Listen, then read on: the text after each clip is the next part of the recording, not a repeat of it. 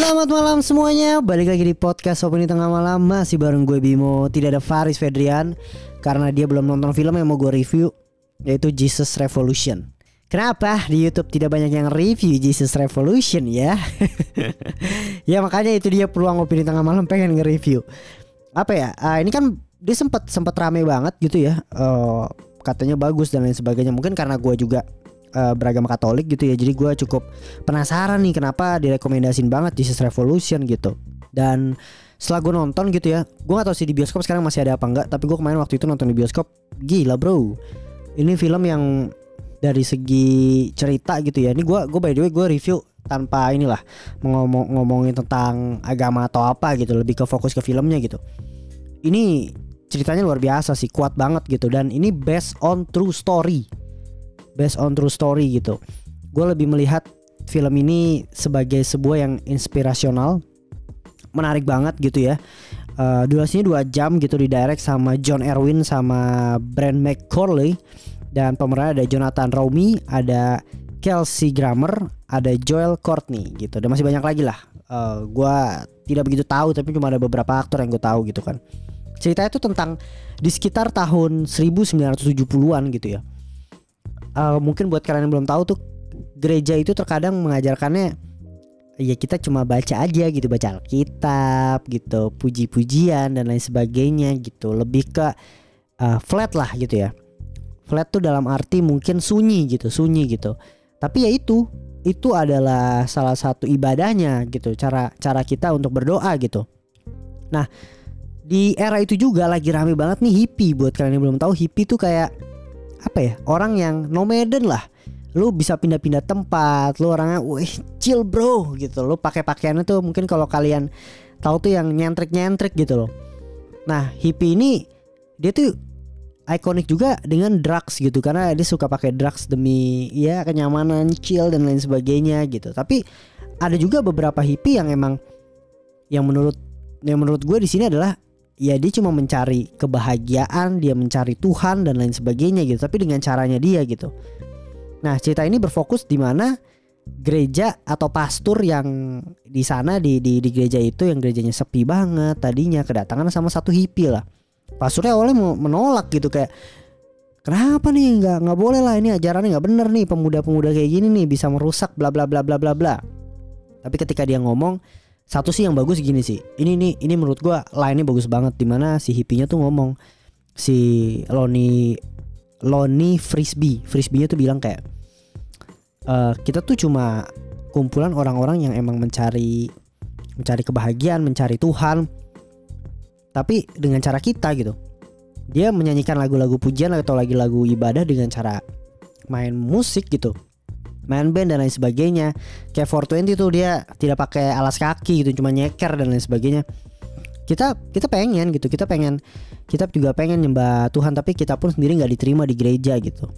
Wah itu itu menarik tuh dan pastor akhirnya juga merasa kayak gue kan tujuannya untuk apa ya menyebarkan cinta kasih gitu ya, menyebarkan agama kebaikan gitu. Tapi sedangkan orang yang mau berbuat baik tapi dengan coba dengan gayanya mereka gue nggak menerima di gereja gue gitu. Nah itu akhirnya membukakan hati pastornya untuk membuka gerejanya kepada orang-orang yang mau berdoa orang-orang yang mau menyembah Tuhan gitu. Ngasih IP ini masuk gitu dan wah gila itu. Lumayan yang tadinya sepi jadi rame ada umat-umat yang uh, protes lah dan lain sebagainya gitu. Ini menarik banget karena ini based on true story gue juga jadi sedikit ngulik tapi nggak ngulik-ngulik banget lah intinya ada ada ada ada konflik juga di dalamnya dan lain sebagainya gitu. Tapi yang menariknya di sini adalah gimana cara orang dalam mencari suatu kebahagiaan dalam hidupnya gitu. Ke mana ke sini ke A ke B ke C gitu. Sampai akhirnya mereka bisa menemukan apa yang dia cari gitu. Di mana mereka harus ternyata banyak orang-orang yang care sama uh, kita gitu. Orang-orang yang apa ternyata lu lupain tapi ternyata dia butuh lu dan lain sebagainya itu di sini menurut gue lebih ke meaningfulnya yang kuat banget di Jesus Revolution ini gitu. Dan Jesus Revolution sendiri pun itu nama dari suatu majalah yang merilis tentang kisahnya ini gitu. Kalau nggak salah Times deh yang majalahnya dan dia yang merilis dengan nama Jesus Revolution. Karena orang-orang banyak banget yang akhirnya pengen dibaptis karena karena karena kisahnya gitu loh. Karena kisah si di di kisah nyata ini gitu kan.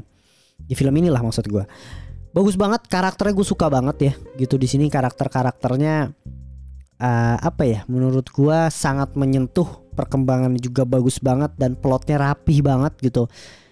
Ya buat mungkin buat gue yang gue yang Katolik gitu ya atau mungkin buat kalian yang Kristen juga gitu. Jadi kayak lumayan sedikit relate dan dan dan mungkin bisa jauh lebih menikmati gitu loh. Karena karena ada beberapa yang kalian paham. Kan ini kan akan akan ada sedikit baca-baca Injil gitu. Tapi as a movie ini juga bagus gitu.